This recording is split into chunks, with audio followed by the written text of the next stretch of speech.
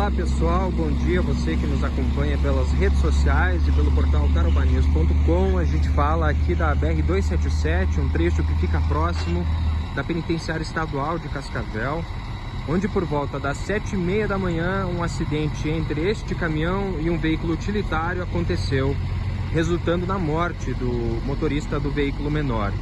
Segundo os relatos do motorista do caminhão, que apenas sofreu ferimentos leves no rosto, o veículo utilitário perdeu o controle quando seguia no sentido Curitiba, rodou na pista e acabou colidindo. Segundo a Polícia Rodoviária Federal, o motorista do caminhão passou pelo teste do bafômetro, que deu negativo. O veículo foi removido para outro local.